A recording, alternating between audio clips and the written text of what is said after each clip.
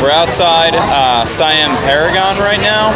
Um, you look around here. Like I said, there are a lot of uh, a lot of really really high-end stores that only the top one point or not even one, probably 0.0001 percent of anybody in Thailand can afford things here. Um, and uh, just over over here, you'll see the Bangkok SkyTrain and um, this is the square that opens up into Siam. So, yeah.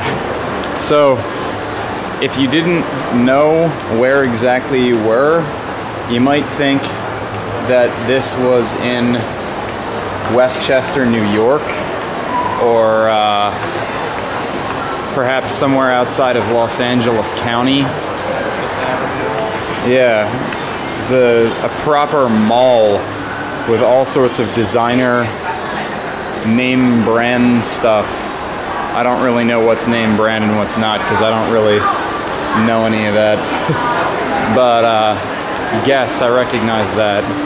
Um, upstairs there is a uh, IMAX theater and um, I believe farther down the street a little ways there's actually a water park but yeah, you can see this is clearly lifestyles of the rich and famous.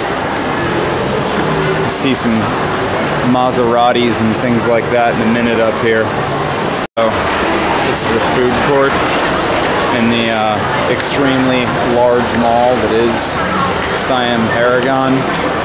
Um, there's a there's actually a um, high-end grocery store in here as well.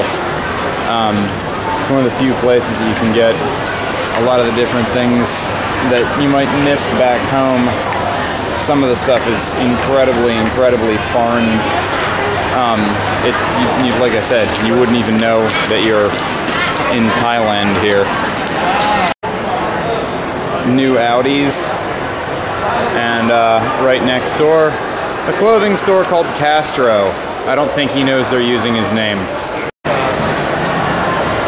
As I said, the uh, top 0.0001% of all the people in Thailand can afford stuff like this.